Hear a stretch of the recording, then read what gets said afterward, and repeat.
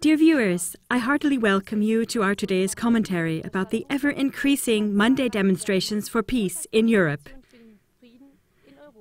Since the Second World War, our continent has been widely spared from armed conflicts.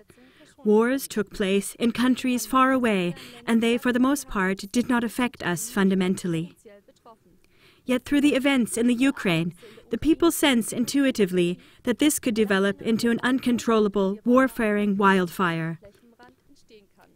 Valued viewers, how do you personally cope with this existential threat?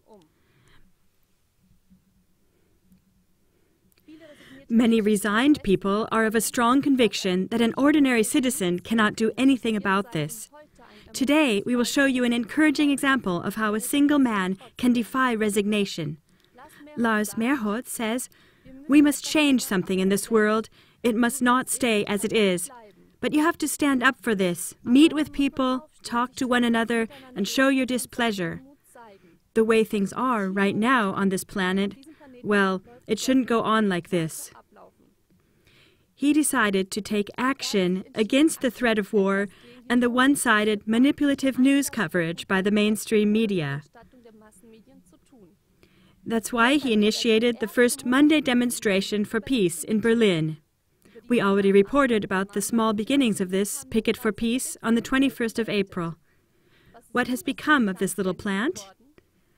The initiative of Lars Mährholz triggered a wave for peace which thousands of citizens have already joined. After 100 participants in the beginning, the numbers grew from 400 to 3,000 and up to 5,000 participants on Easter Monday in Berlin. But not enough. Meanwhile, it's not only in Berlin where Monday demonstrations are taking place, originating from the initiative of a single man, but in 48 cities across Germany, Austria, and Switzerland. In Stuttgart, Germany, an initiative started as well, on the 10th of May, we were on location with a camera team. We are here on the Palace Square in Stuttgart. Hundreds of people gathered here for a big demonstration initiated by the Peace Movement Stuttgart.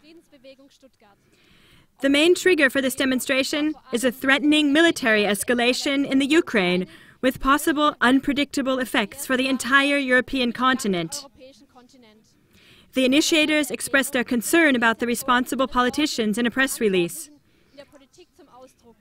The German federal government does not seem to strive to contribute to a de escalation in the Ukraine crisis. Isn't it encouraging to see what developed, not only in Berlin and Stuttgart, out of the commitment of a single man? A motivating sign standing far above all resignation, which has spread among many citizens. It's worth it to stand up and become active. Lars Mährholz proved this.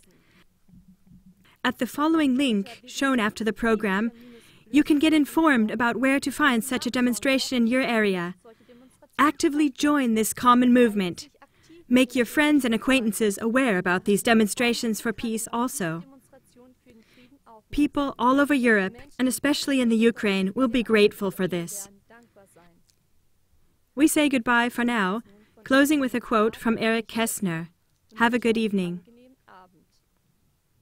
Nothing good happens unless one does it.